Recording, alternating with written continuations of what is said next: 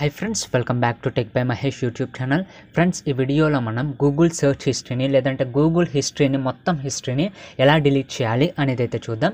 So వీడియోని ఎక్కడ skip చేయకుండా చివరి వరకు చూడండి. ప్రాసెస్ అనేది కొంచెం కాంప్లికేటెడ్గా ఉంటుంది. సో స్కిప్ చేయకండి. ఇక ఆలస్యం చేయకుండా డైరెక్ట్ వీడియోలోకి అయితే వెళ్ళిపోదాం.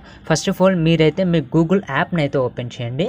సో బేసిక్గా గూగుల్ యాప్ని ఓపెన్ చేయగానే మనకి ఇంటర్ఫేస్ అనేది ఈ విధంగా రావడం అయితే జరుగుతుంది. సో ఇప్పుడు మనం ఏం చేయాలంటే పైన టాప్ రైట్ కార్నర్లో ఇక్కడ క్లియర్గా చూడొచ్చు. మీ ప్రొఫైల్ పిక్చర్ కనిపిస్తుంది లేదంటే మీరు ఏదైతే లోగో పెట్టుకున్నారో ఆ లోగో అనేది కనిపిస్తుంది. సో ఆ లోగో మీద క్లిక్ చేయండి.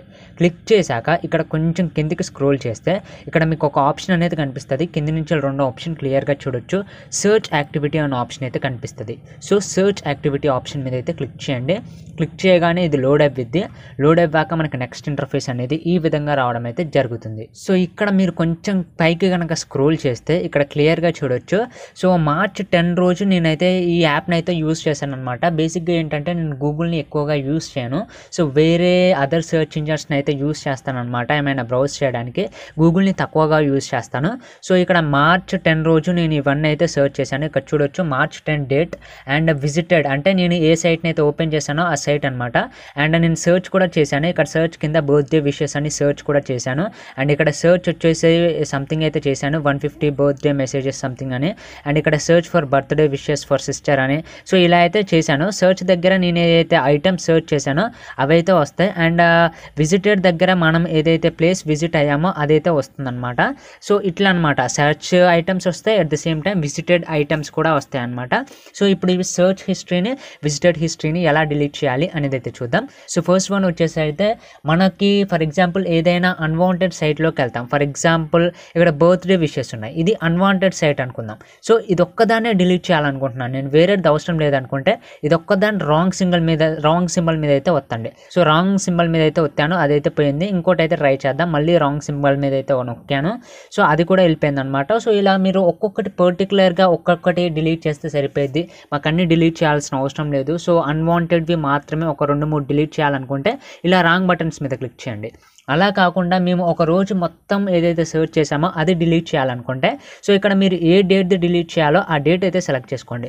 ఫర్ ఎగ్జాంపుల్ ఇక్కడ మార్చ్ ఎయిట్ అని ఉంది కదా ఈ రోజులో ఏదైతే సెర్చ్ చేశానో సో ఇక్కడ వరకు సెర్చ్ చేశాను అనమాట ఇది మొత్తం డిలీట్ చేయాలనుకుంటున్నాను. సో దానికి ఇదంతా రాంగ్ బటన్స్ ప్రెస్ చేయాలంటే కాంప్లికేటెడ్ ప్రాసెస్ అదంతా లేకుండా ఇక్కడ డిలీట్ సింబల్ ఉంది కదా దాని మీద నొక్కండి. నొక్కాక ఆ డేట్ అనేది డిలీట్ అయిపోయింది అనమాట మార్చ్ ఎయిట్ అనేది డిలీట్ అయిపోయింది. ఇక్కడ చూడొచ్చు మార్చ్ టెన్త్ ఉంది సెవెంత్ ఉంది. ఎయిట్ అనేది డిలీట్ అయిపోయింది అనమాట ఇట్లా మీరు ఒక డేది డిలీట్ చేయొచ్చు.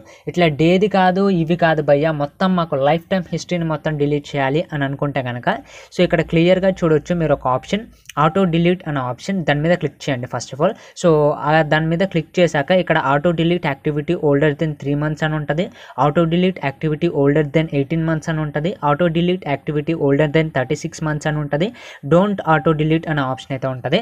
ఇక్కడ మీరు థర్డ్ది అయితే మ్యాక్సిమం సెలెక్ట్ చేసుకోవడానికి ట్రై చేయండి. ఎందుకంటే త్రీ మంత్స్కి ఆటో ఆటోమేటిక్గా అదే అనేది డిలీట్ అవుతుంది అనమాట సో త్రీ మంత్స్ కాగానే ఆటోమేటిక్గా ఫర్ ఎగ్జాంపుల్ నేను ఈ రోజు ఏదైనా సెర్చ్ చేశాను. ఇది సెర్చ్ చేశాక త్రీ మంత్స్ అయిందనుకోండి ఆటోమేటిక్గా అదే డిలీట్ అయిపోద్ది సో ఈ ఆప్షన్ అయితే మీరైతే సెలెక్ట్ చేసుకోండి. సెలెక్ట్ చేసుకున్నాక ఇక్కడ రాంగ్ బటన్ ఉంటుంది కదా పైన రాంగ్ బటన్ మీద క్లిక్ చేయండి. క్లిక్ చేశాక ఇక్కడ మీరు ఏం చేస్తారంటే కొంచెం పైకి స్క్రోల్ చేశాక ఇక్కడ మీకు డిలీట్ అనే ఆప్షన్ ఉంటుంది. ఆ డిలీట్ అనే ఆప్షన్ మీద క్లిక్ చేయండి. క్లిక్ చేశాక ఇక్కడ మీరు లాస్ట్ అవర్ది డిలీట్ చేయాలనుకుంటే లాస్ట్ అవర్ది లాస్ట్ డేది డిలీట్ చేయాలనుకుంటే హిస్టరీ లాస్ట్ డేది అండ్ మాకు లాస్ట్ డే కాదు లాస్ట్ అవర్ కాదు మేము ఇప్పటివరకు గూగుల్లో ఏదైతే సెర్చ్ చేసామో అది మొత్తం డిలీట్ చేయాలనుకుంటే ఆల్ టైమ్ని అయితే సెలెక్ట్ చేసుకోండి. సో నేనైతే ఆల్ టైమ్ని అయితే సెలెక్ట్ చేసుకున్నాను.